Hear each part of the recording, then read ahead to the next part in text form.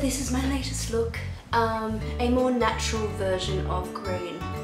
Sultry green. Start with a dark brown eyeliner. Work the liner into your lash line. Work around the corner of your eye and smudge with your finger until it's even across the lid.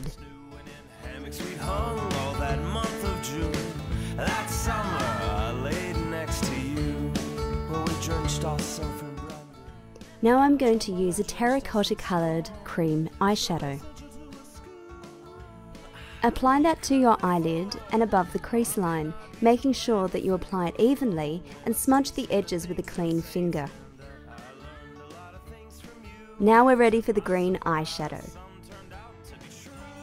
With an eyeshadow brush or sponge, apply the green shadow to the lid.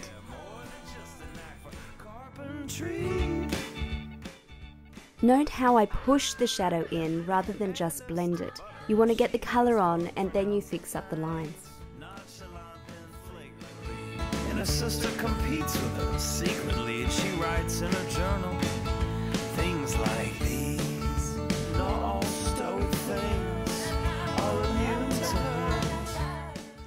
Next we're going to use the same eyeliner we did before, the dark brown, and work it into our lower lash line and across our top lash line.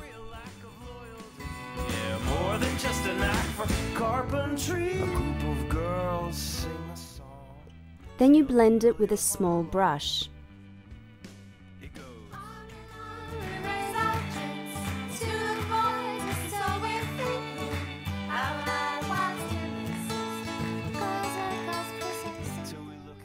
If you don't have a small brush, Sometimes some eyeliners have a sponge on the end. You can use that instead.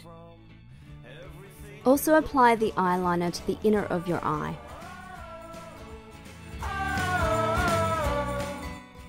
Don't forget to clean up your mess. For a nice highlight on the eye, I'm going to use a gold shadow with a small fluffy brush. You can always use your finger, don't worry.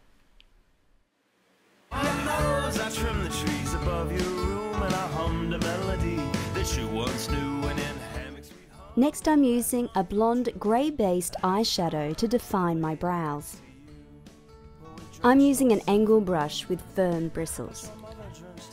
To keep brows in place, I like to use brow gel, or you can use regular gel with a mascara wand. Next, a fluffy brush to apply the foundation. Apply to the center of the face and blend outward.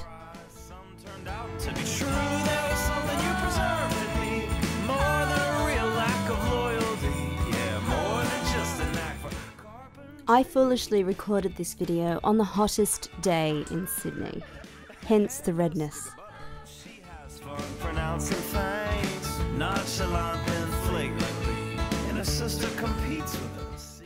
To cover up any skin indiscretions, we're going to use concealer. I like to apply it to any darkness around the eyes or any blemishes or redness.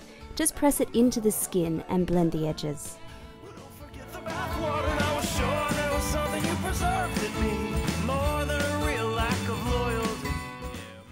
To give myself a warm summer glow, I'm using a bronze cream on the cheeks.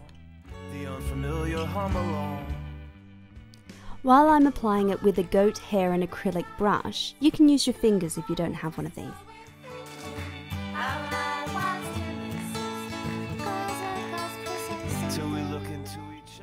I don't really like the matte look to be honest, so I like a bit of sheen to my face, but not too much.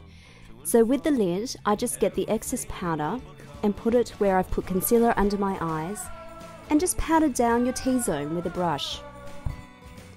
Next, your curlers. Walk your curlers from your lash line to the end of your lashes. And then give yourself a good coat of mascara. Powder your lashes for extra thickness if you like, and curl again and apply again.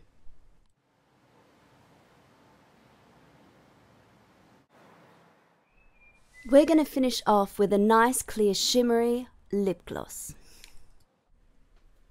And ladies, we're done. This is the final look.